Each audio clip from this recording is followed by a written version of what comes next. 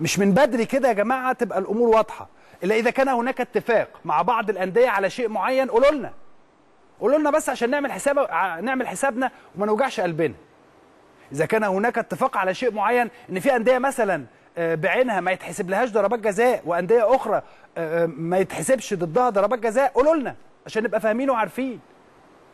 دائما ما ندافع عن التحكيم ودائما النادي الأهلي بيكون آه، في ظهر كل الحكام المصريين والسنة اللي فاتت خير دليل على الكلام اللي أنا بتكلم فيه. السنة اللي فاتت آه، واضحة جدا النادي الأهلي عمل إيه؟ في ظل آه، هجمة شرسة على الحكام المصريين النادي الأهلي وقف ضد كل هذه الهجمات وقال إن هو مع الحكام المصريين في كل شيء. ولكن بداية موسم غير مبشرة. بداية موسم غير مبشرة. مباراة الأهلي والإنتاج وعدم احتساب ضربة جزاء واضحة جدا جدا للجميع. اتفضل. م- يعني طب أعمل إيه طيب؟ يعني ولا نعملها إزاي؟ ولا نقول إيه؟ طب الأول كنا بنتحجج بالحكم الخامس. شلنا الحكم الخامس. مش أنا طبعا ولا الأهلي لأ. الناس كلها كانت بتتحجج بالحكم الخامس لكن دلوقتي مفيش حكم خامس. يعني المفروض الحكم حكم الساحة يكون مركز أكبر تركيز. ضربة جزاء لم تحتسب للإنتاج للنادي الأهلي ضد الإنتاج الحربي. من بعدها امبارح في مباراة أمس مباراة الزمالك والمقصة ضربتي جزاء على الأقل واحدة منهم لازم تتحسب 100% ممكن الزمالك يكسب. مفيش مشكلة. ولكن يا جماعة ادوا الناس حقها.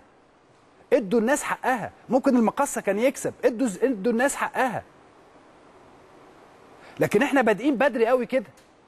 آه، إذا كان الموضوع هيبقى فيه وأنا الحقيقة يعني أربى إن أنا أتكلم بهذا الشكل عن التحكيم المصري لأن التحكيم المصري تحكيم آه، الحكام المصريين شخصيات محترمة جدا جدا جدا فوق الوصف.